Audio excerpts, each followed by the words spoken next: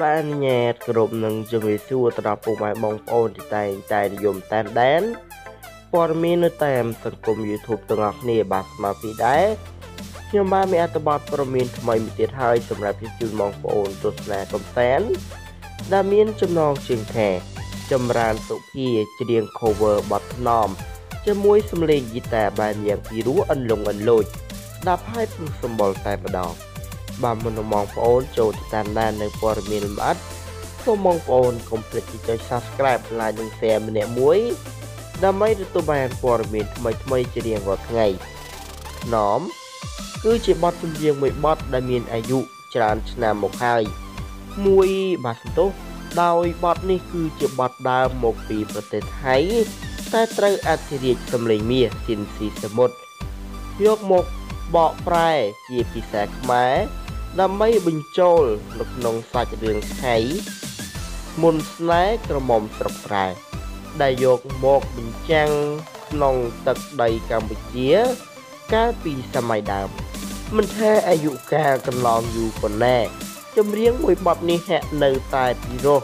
ដិតដាមជាប់អារម្មណ៍ដោយកាលពីឆ្នាំ2004ខាងផលិតកម្មរស្មីហង្មា បានយកបទថ្នមមកសរសេរទំនុកច្រៀងថ្មីនិពន្ធដោយ លោកជុំប៊ុនធឿននិងបកស្រាយដោយកំពូលតារាចម្រៀងព្រាបសវັດដោយកែប្រែចង្វាក់ថ្មីទៅជារ៉កបាទបែបស្រុកស្រែបាទរុនថើនអារម្មណ៍បាទបាទតាមមកទល់ពេលនេះបទស្នមនេះគឺនៅតែដកជាប់អារម្មណ៍ ជាពិសេសគឺពីរោះគ្រប់ពេលដែលបានស្ដាប់ជាក់ស្ដែងថ្មីថ្មីនេះចម្រើនសុភា